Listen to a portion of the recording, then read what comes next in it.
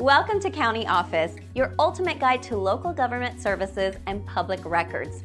Let's get started. What was the main issue in Plessy v. Ferguson? The main issue in Plessy v. Ferguson centered around the constitutionality of Louisiana's null separate but equal null racial segregation laws, specifically in the context of public transportation. In 1890, Louisiana enacted a statute that required railroad companies to provide separate accommodations for white and black passengers, which led to the arrest of Homer Plessy in 1892. Plessy, who was 7 eighths white and 1 eighth black, intentionally sat in a whites only car to challenge the law. Plessy argued that the segregation law violated the 13th Amendment, which abolished slavery, and the 14th Amendment's Equal Protection Clause, which guarantees equal protection under the law for all citizens. He contended that the law stamped African Americans with a badge of inferiority and thus violated the Constitution.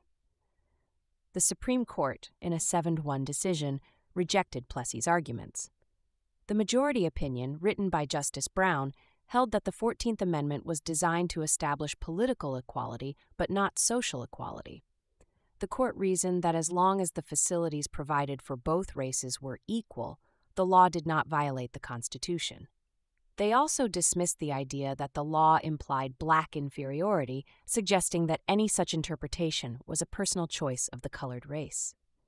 Justice John Marshall Harlan, the sole dissenter, argued that the Constitution is colorblind and does not tolerate classes among citizens. He believed that the law was unjust and that equal rights should be guaranteed regardless of race. The decision had significant implications, as it solidified the null separate but equal null doctrine, allowing similar segregation laws to spread across the southern United States. This doctrine remained in place until it was eventually overturned by the Supreme Court in Brown v. Board of Education in 1954.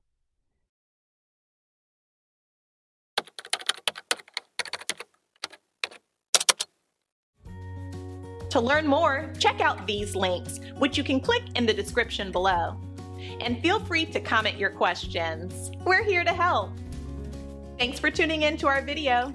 Please like and subscribe and leave a comment below. See you in the next video.